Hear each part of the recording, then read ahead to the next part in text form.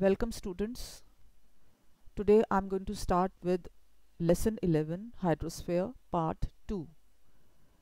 In today's video I will discuss the meaning of ocean currents, the types of ocean currents and the different causes of ocean currents. Let us understand what is meant by ocean currents.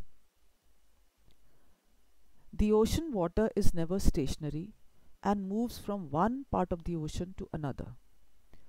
Ocean currents are large masses of surface water that circulate in regular patterns around the oceans.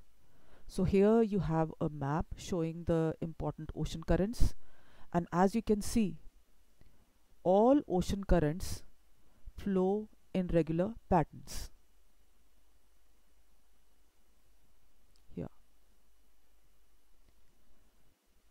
Based on temperature, ocean currents can be divided into two categories. First we have the warm ocean currents. These currents flow from the low latitudes in the tropical zones towards the high latitudes in the temperate and subpolar zones. They bring warm water into cold water areas. So again if you look at this map, the red color denotes the warm ocean currents. So you can see that the warm ocean currents are flowing from the low latitudes towards the higher latitudes. For example, you have the Gulf Stream and the North Atlantic Drift. You have the Brazilian current.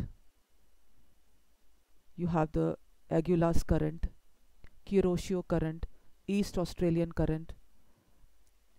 So all these currents are flowing from the low latitudes towards the higher latitudes. Then we have the cold ocean currents.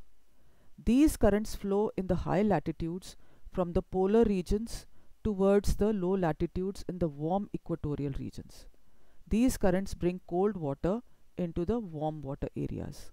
So again you have the blue color denoting the cold ocean currents. So you see the Peru current, the Benguela current, the West Australian current, the Oyashio current, the Labrador current. So they are all flowing from the high latitudes, that is from the polar regions towards the lower latitudes. Here also from the higher latitudes, the cold ocean currents are flowing towards the lower latitudes. Based on their depth, the ocean currents can also be divided into two categories the surface currents. These currents constitute about 10% of all the water in the ocean and lie at the upper 400 meter of the ocean. The deep water currents. These currents make up the other 90% of the ocean water. These waters move around the ocean basins due to variations in the density and gravity.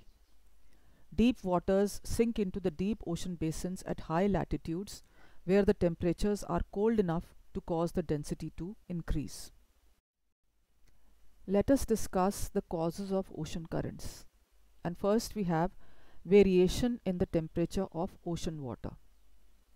Surface temperature of ocean water differs between the equator and the polar regions. And all of us know the reason behind this.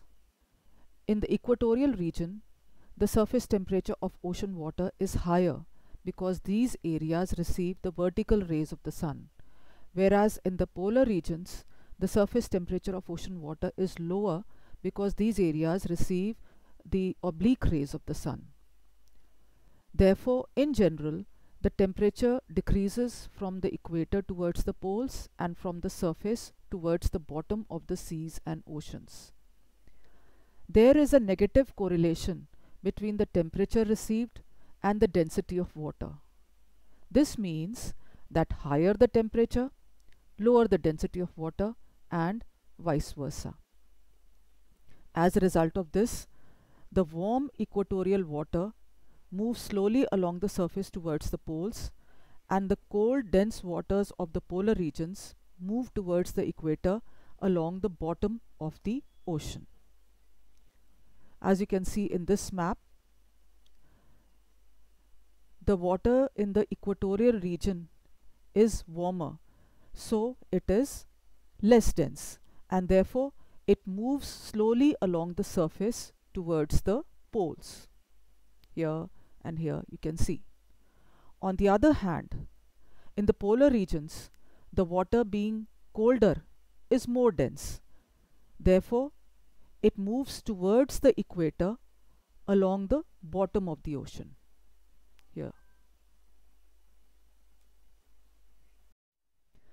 Next is variation in salinity. Salinity refers to the amount of salts dissolved in seawater.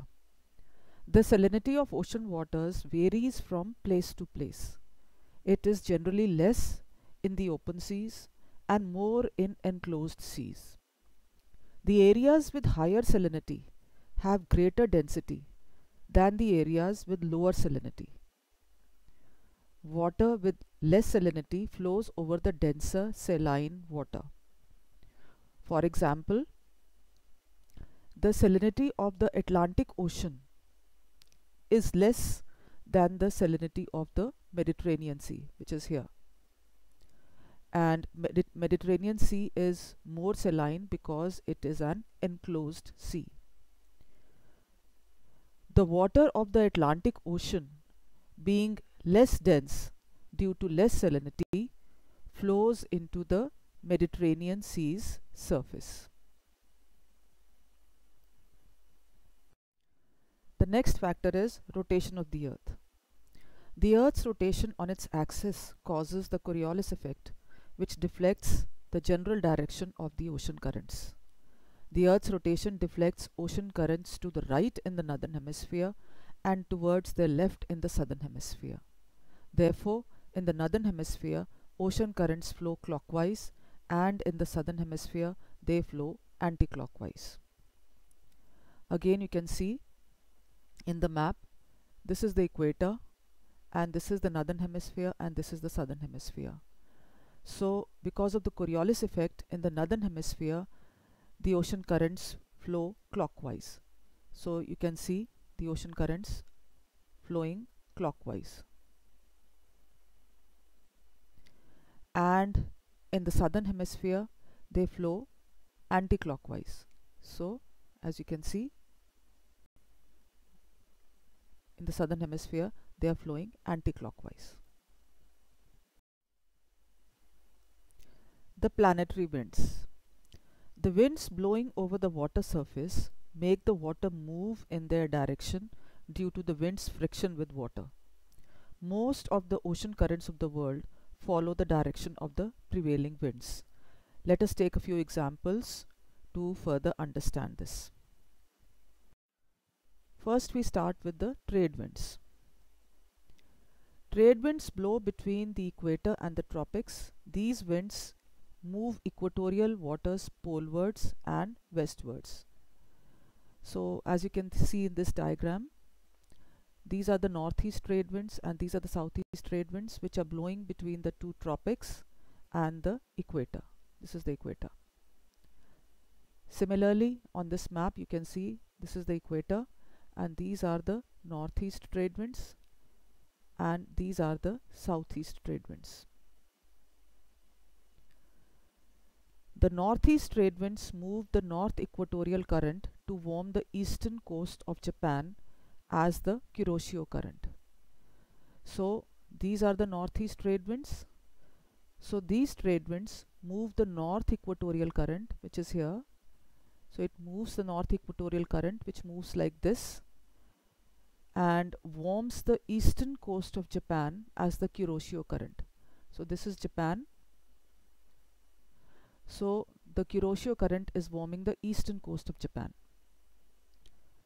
Similarly, the southeast trade winds drive the south equatorial current which warms the eastern coast of Australia as the warm East Australian current. So these are the southeast trade winds. So the southeast trade winds drive the south equatorial current. So this is the south equatorial current.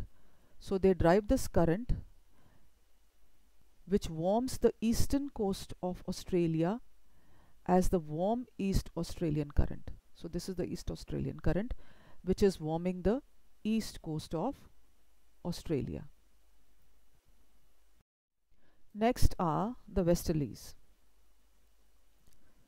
Westerlies blow in the temperate latitudes and result in a northeasterly flow of water in the northern hemisphere and southeasterly flow of water in the southern hemisphere.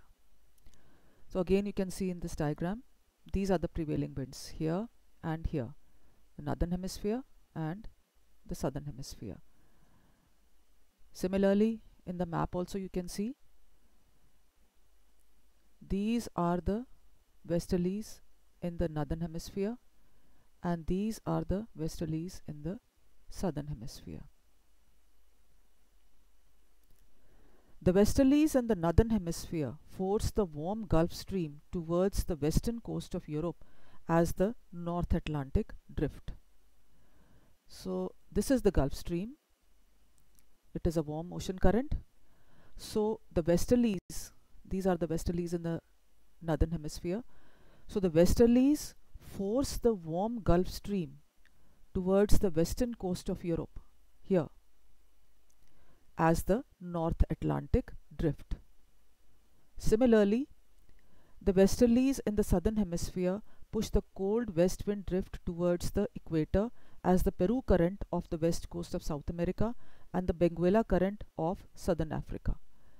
So these are the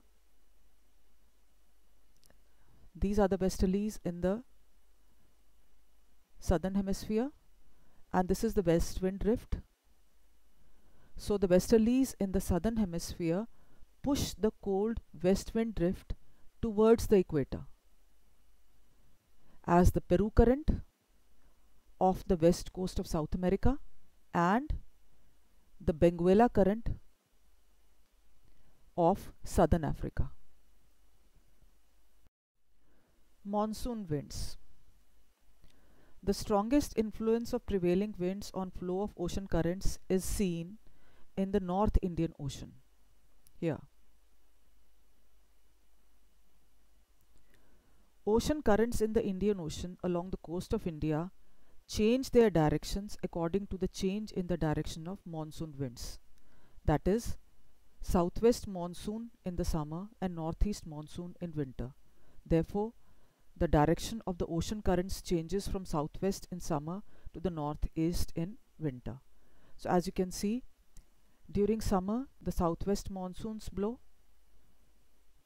So this is the direction of the southwest monsoon drift during summer. On the other hand, in winters, the northeast monsoons blow. So as a result, the ocean currents also change their direction and now they are called the northeast monsoon drift. The last factor is land. The shape of the land plays an important role in the obstruction and diversion of ocean currents. For example, at Cape Sao Roque, the South Equatorial Current gets divided into two branches, Cayenne Current to the north and Brazilian Current to the south due to the shape of the Brazilian coast. So as you can see, this is South America Here is Cape Sao Roque. As a result of this shape of the land, the south equatorial current as it flows gets divided into two branches. One branch flows northward as the Cayenne current and the second branch flows southward as the Brazil current. I conclude my lecture here. In today's video, I discussed the meaning of ocean currents, the types of ocean currents and the various causes of ocean currents. Thank you.